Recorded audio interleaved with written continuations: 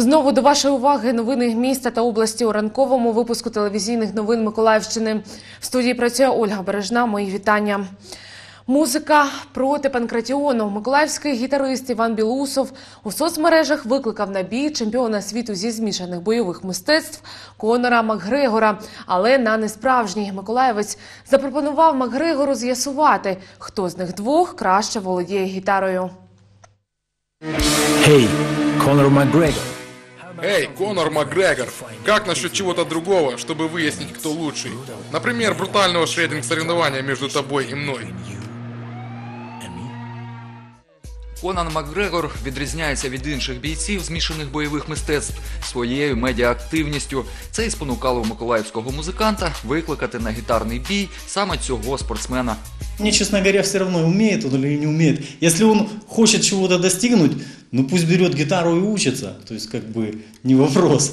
То есть, ведь, ну, мы знаем, его там сразу пригласил какой-то чудак поплавать. Типа на дальние дистанции. Давай, я не помню точно, канадец или кто-то чемпион мира.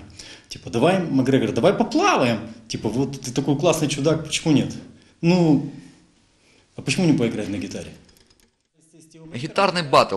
Так, американські музиканти з'ясовували, хто серед них найкращий. Традиція бере свій початок ще з 60-х минулого століття.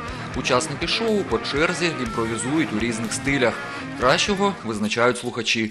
Найшвидша рука таке собі грає криво. Це далеко не всі статуси, які можна здобути у результаті батлу. Сам-то он ирландец, да, вот, мы знаем, что, ну, в- все мероприятия, которые проходят, то бишь, э, они могут происходить где угодно. То есть все зависит от того, кто будет за этим стоять и где это все организует. Джаз, блюз, фанк, рок, важкий метал, інді, стилі музики, в яких раз на раз змагаються гітаристи, можна перераховувати довго. Головне, учасники мають не допускати помилок при грі, яка в свою чергу повинна бути гармонійною, збалансованою та креативною. Поки що Конор Макгрегор на пропозицію вдарити по струнах не відреагував, але враховуючи його спонтанний характер, очікувати можна чого завгодно. Олександр Гордієнко, Юлія Кускова, телевізійні новини Миколаївщини. У приміщенні Миколаївської філії Національної суспільної телерадіокомпанії України під час зимової олімпіади запрацювала фан-зона. Там зібрали спортивні журналісти та функціонери, аби у неформальній атмосфері поспілкуватися про зимові види спорту та оцінити шанси українців у медальному заліку. Олімпійський прапор, м'який диван та плазма. Саме так виглядає фан-зона у холі телерадіокомпанії. Сюди мають можливість прийти журналісти, тренери, спортсмени та функціонери, які протягом трьох тижнів будуть у когорті вболівальників. Сьогоднішні гості завітали не з порожніми руками.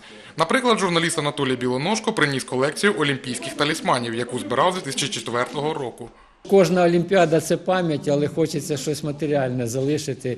е, Якась згадка мусить бути. От е, я після кожних ігор е, хочу привезти і намагаюсь привезти отакі олімпійські сувеніри. Серед тих, хто змагається у південнокорейському Пхьончані, є й спортсмен з Миколаєва. Це фристайліст Олександр Абраменко. Його батько сьогодні також у олімпійській фан-зоні. Тож природньо, що ім'я нашого земляка було у всіх на вустах. На Олимпиаду попадают все сильнейшие. И соревнуются только сильнейшие спортсмены. Поэтому, попадая на Олимпиаду, это уже результат и успех. Фахівці кажуть, конкуренція у фристайлі надзвичайно висока, але шанси на позитивні результати є. Ми сподіваємося, що Саша зуміє гідно виступити на Олімпіаді. Ми, адже цей рік був для нього ду- дуже успішним. Він е, виборов е, декілька медалей на етапах Кубку світу, виборов ліцензію олімпійську. І, звичайно, ми сподіваємося, що він нарешті привезе до Миколаєва першу зимову олімпійську нагороду. Наразі фристайл єдиний зимовий вид спорту, яким можна займатися у нашому місті. Але база знаходиться у незадовільному стані, кажуть функціонери. Жартують, можливо, сьогоднішнє обговорення приверне увагу чиновників до цієї проблеми. Дети хотят заниматься фристайлом.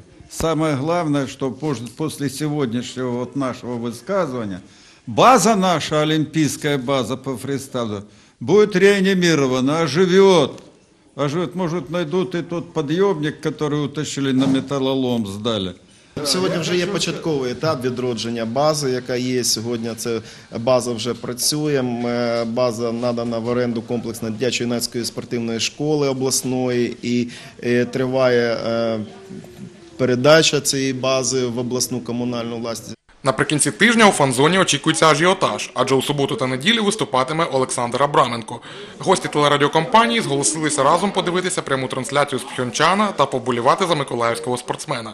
Володимир Степанов, Олександр Пан, Юрій Руденко, телевізійні новини Миколаївщини.